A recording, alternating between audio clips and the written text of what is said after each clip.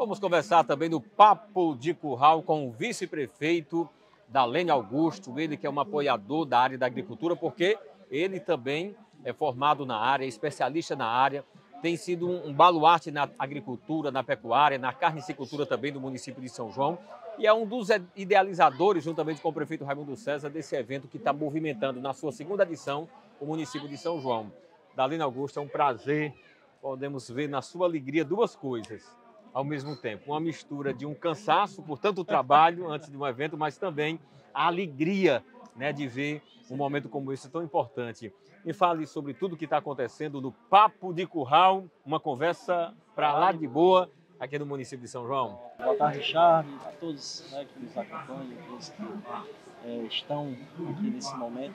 É, o Papo de Curral, né, como você mesmo falou, é, é uma, um cansaço misturado com alegria, mas dentro do contexto do que a gestão prega, do que o prefeito Raimundo César pede, né, é, nós conseguimos realizar a segunda edição desse evento, onde iniciou-se esse projeto né, ainda há um ano atrás, dentro das festividades dos 66 anos de emancipação política né, do nosso município.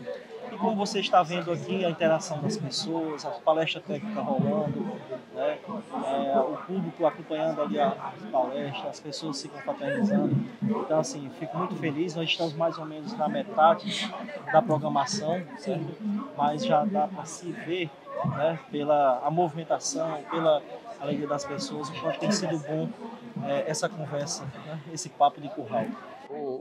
O, que foi que levou, o que foi que motivou, como surgiu né, essa ideia? Eu conversava com o Raimundo César também, é, da Lênio, da, de, de, fazer o papo de curral. Quais são as, as necessidades que você viram para dizer assim, olha, vamos fazer esse tipo de evento que pode dar uma, uma, uma, uma evolução e os resultados foram bons? Richard, nós, nós somos um município muito, digamos assim, ruralista, né? Hum. Onde nós temos várias cadeias produtivas, embora umas mais, mais em déficit, outras maiores, como hoje a seção do camarão.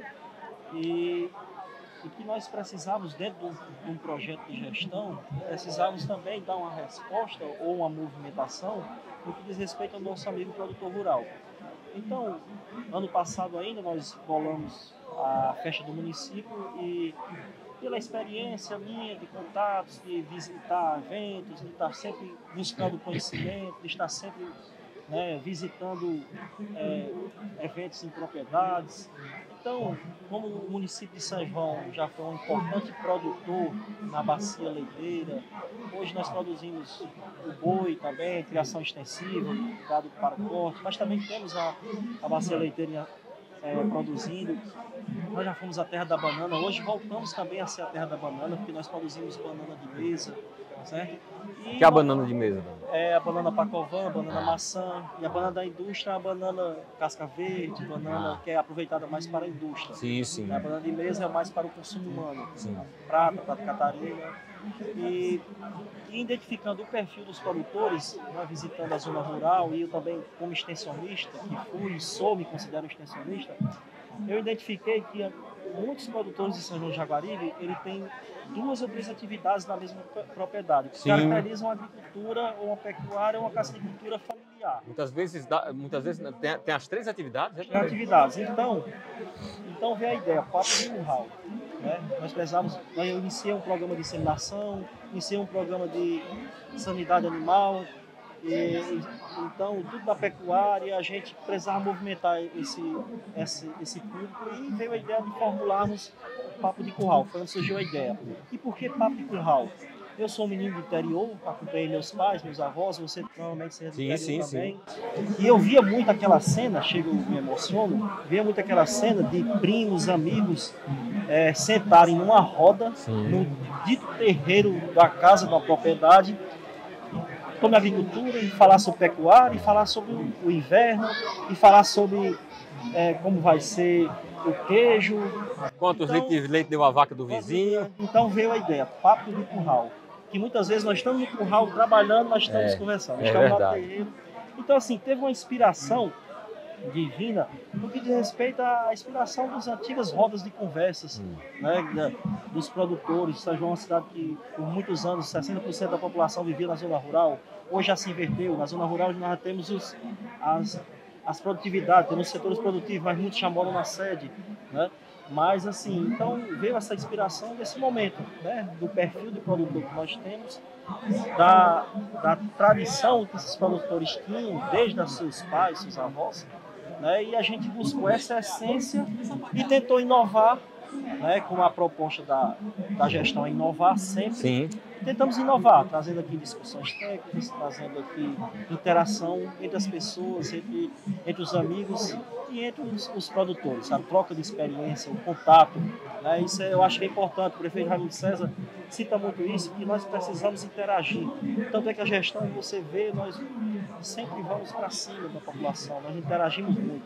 Verdade. Né? Dalênio, no ano passado, que foi a primeira edição, esse ano a segunda edição, é, os resultados, porque está tá tendo todo um acompanhamento. Nós sabemos que tem situações num projeto como esse que ela pode ser a longo prazo, a médio e longo prazo, mas tem alguns que são mais fora da curva, que a curto prazo já faz a coisa acontecer. Tem algumas pessoas. Esse projeto ele já tem resultados que possam ser mostrados, esse acompanhamento, essa, essa, essa, todo esse conjunto de ações da gestão é, já tem resultados para ser mostrados? que sim, dentro desse, desse, ano nós já estamos colhendo os frutos. O Papo de Curral ele é também, serve também para celebrar os bons resultados. Né? Como eu falei, eu tenho um programa de inseminação artificial onde eu já tenho bezerros, vários bezerros nascidos, certo? Onde eu estou melhorando geneticamente né, e de forma gratuita, através de parcerias com a Conafé, então isso aí vem a médio a longo prazo, né? Longo o resultado. Prazo. Eu já tenho 60 bezerros, 70 bezerros. Que já nasceram? Que já nasceram. Foi quase a curto prazo aí. Então talvez próximo ano as bezerras já vão entrar num período é, que possa ser também inseminada. Já é, vem uma qualidade aí, melhor. A qualidade melhor, a gente já entra os princípios do melhoramento genético. Né? Melhorar geneticamente, buscando onde eu quero chegar. Se é, se é o boi para corte ou se é a vaca leiteira, dentro da perspectiva de saúde, de sanidade e de produção são parâmetros técnicos. E nós já conseguimos evoluir. Dentro da agricultura, nós conseguimos evoluir o quê?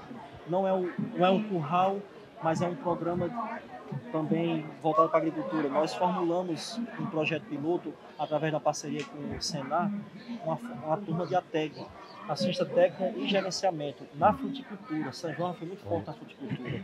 Nós conseguimos 30 pequenos fruticultores que são da produzem banana e limão, né?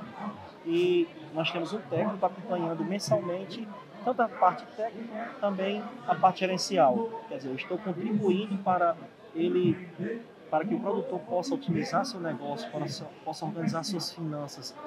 E não é fácil, porque isso aí entra uma quebra de paradigmas muito grande. Eu, eu um técnico, eu tenho a credibilidade de eu entrar nas finanças do produtor e ele confiar.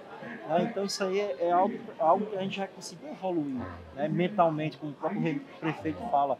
O São João precisa Quebra até aquela cultura que quando você recebe, eu estava vendo ali um, um produtor dizendo como é que pode um menino desse vai ensinar a saber o que eu sabe mais do que eu que já sei assim. Ele criou essa, Isso. ele tinha essa mentalidade, mas, mas abriu a mente. Mas o cara que é extensionista, ele, ele traz na sua essência a, a, educação e a cultura também, de saber lidar com, a cultura e a educação. Com essas objeções também, com essas situações. Um né? outro fator que nós conseguimos evoluir, o Banco Nordeste está aí. Uhum. Qual o primeiro critério que o Banco Nordeste pede para financiar um pequeno agricultor ou um agricultor? Qual é, Dalila? A CAF Hoje o município de São João de Jaguaribe me orgulho muito disso. O técnico está aqui presente. Nós emitimos CAF para os produtores de São João de Jaguaribe pela Secretaria de Agricultura.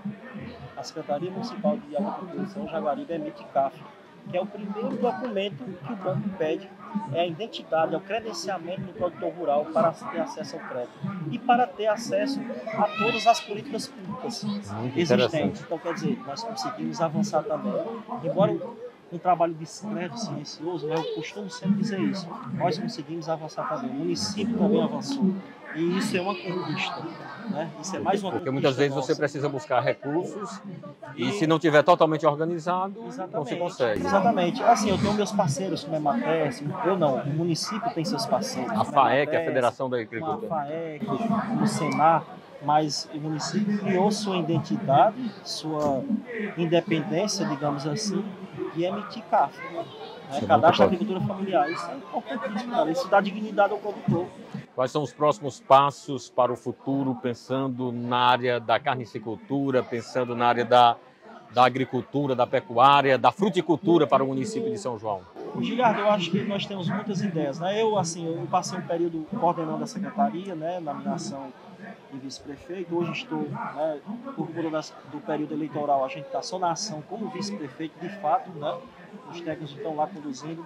Mas dentro da cacicultura, que é uma das perspectivas maiores que nós temos, nós temos muitos, muitas coisas a, a crescer, a evoluir. Né? Nós temos aí, como o próprio Raimundo cita, nós brigamos por esse beneficiamento de camarão. né? Nós estamos lutando todos os dias. Raimundo César, inclusive, eu conversava, Dali, no beneficiamento é a indústria que viria, né, que está para vir, está sendo articulado. Eu isso- conversava com o Raimundo César. Raimundo César fez um trabalho bem integrado. Você veja na, vocês a gente estava falando sobre fruti- fruticultura, agricultura, pecuária, carnicicultura, no esporte, no lazer, na infraestrutura, na educação, no social, na saúde, né? E ele dizia que o que está faltando hoje o som dele é justamente uma indústria, né, uma estrutura que possa gerar emprego e renda. Exatamente, eu acredito assim que a- o cara visionário que é o, o Raimundo César, né, ele, ele entende que o próprio município tem que aproveitar suas potencialidades, Sim, suas sim. atividades primárias, que no caso é o camarão que nós temos, e conseguir fomentar, potencializar através da indústria, que consequentemente eu vou gerar muito renda, emprego gero muitas outras atividades Sim, é uma a cadeia. questão- é uma cadeia. Vem a questão da assistência técnica, eu vou ter que contratar mais técnico. Vem a questão gerencial. O próprio comércio ele se mobiliza para se comércio se investir. mobiliza. A gastronomia está aí. Tanto é que nós temos, estamos tendo uma oficina gastronômica voltada para a culinária do camarão, já para provocar isso né, na mentalidade das pessoas, que é importante a gente também É explorar esse bem que nós temos. Sim, sim. Nós seremos, se Deus quiser, a terra do camarão.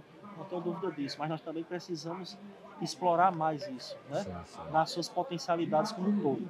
É verdade. Dalene, eu quero te agradecer. A gente vê aqui né, as imagens que estão sendo mostradas, como está bonito o município de São João, no que diz respeito ao Papo de Curral. Uma conversa para lá de boa. E nessa conversa para lá de boa que nós tivemos, eu quero te agradecer, meu querido. Fique que à vontade para levar sua agradeço, mensagem. Richard, eu, eu costumo dizer, faço questão de citar aqui, que tenho muito orgulho de estar participando desse momento. né? Tenho muito orgulho de estar participando dessa gestão liderada pelo prefeito Raimundo César, né? de estar inserido nesse contexto. Como o próprio Raimundo cita, nós tivemos dificuldades, tivemos, mas graças a Deus, Deus está nos dando saúde, discernimento, força de vontade e muita de vontade assim, para trabalhar, para ver realmente esse São João aqui como merece. Né? Um São João um São João desenvolvido, tanto mentalmente como economicamente, Verdade. mas que nós possamos realmente, cadê a nossa frase? Nós possamos realmente viver a cidade do sonho à realidade, com certeza. Muito Eu- obrigado. Mostra aí a frase, Darlan, para a Olha gente aqui, ó. finalizar. Olha, Frase aqui, São João do Jaguaribe, 66 anos. Viver a cidade, do sonho é realidade. o que nós buscamos e vamos conquistar. É, já estamos no processo, estamos né? no processo. Muito obrigado. Foi essa conversa com o vice-prefeito Dalene Augusto aqui no Papo de Curral da Rádio TV Educadora.